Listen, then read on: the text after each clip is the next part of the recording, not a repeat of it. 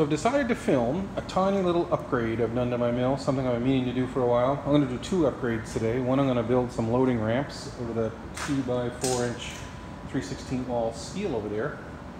And uh, I'll show you how I'm going to do that in a little bit. But this is just a piece of expanded metal that I got from the metal supermarket. That's where I, I got all the rest of the steel for this mill. They've got uh, great service in, uh, in Dartmouth, Nova Scotia. Anyway, they treated me so good.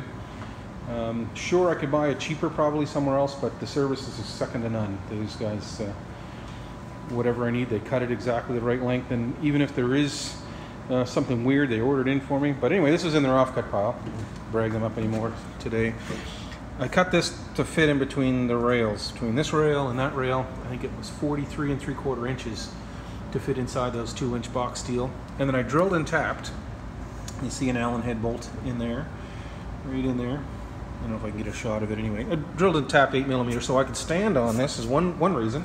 So I can stand on that traction, good traction, and service the motor. Change the oil and, and uh, if I have to take the front of the cover off or change the belt, all that business, change the, oh, not the belt, the blades or band wheels or service anything on the motor, I can, I can do that. But, but this allows me to put a, a stump, and believe it or not, part of my market I've sold quite a few anvil stumps. So I put the stump here and I can shave the top of that stump off and it gives me a nice place as a platform below the bunks and then I can turn the stump upside down and then cut it off exactly the height they want.